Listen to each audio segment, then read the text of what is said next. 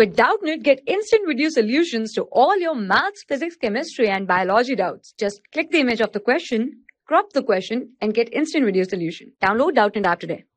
Hi everyone, let's take a question. So here the question is ammonium dichromate on heating liberates a gas the same gas will be obtained by. Okay so here we have the four options. So we have to see on heating which we will have the liberation of the same gas. But first we need to see that when ammonium dichromate is heated which gas is liberated right? So here we have nh4 2 cr2o7 and here when we heat this so here we have N2 plus 4H2O and we have the chromic oxide that is Cr2O3. So it means here we have the gas that is N2 gas, right? So we want to see in which of the option we will have the evolution of the N2 gas. So the first is NaNO2 plus NH4Cl.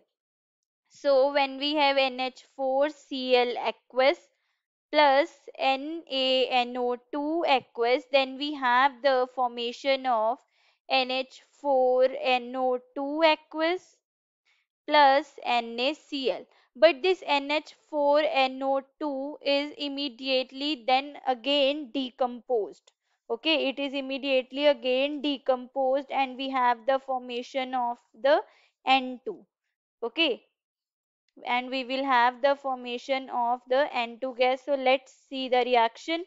Okay, so here we will have the reaction and that is here we have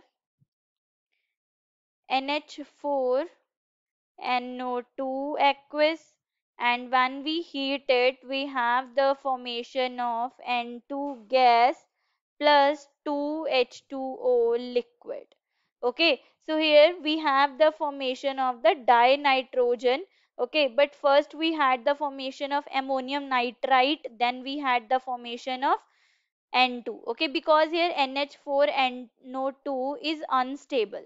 Okay this one is unstable. So that's why it decomposes immediately to form the N2 it means our first option is correct. Okay so now next is treating H2O2 with NaNO2 so when we have the H2O2 with NaNO2 then we have the formation of NaNO3 plus H2O. So here we don't have the N2 so it will not be correct.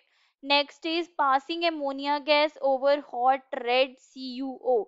So here when we have is ammonia and we have the red hot copper oxide and we have the formation of copper plus water and N2 and if we balance this here we have the heating okay? If we balance this here we have 2 here we have 3 here we have 3 and here we have the 3 okay? So it means this option is also correct okay? So this is incorrect. So here our correct answer will be 1 and 3 okay? So that is our correct answer. Thank you for class 6 to 12, IIT JEE and NEET level.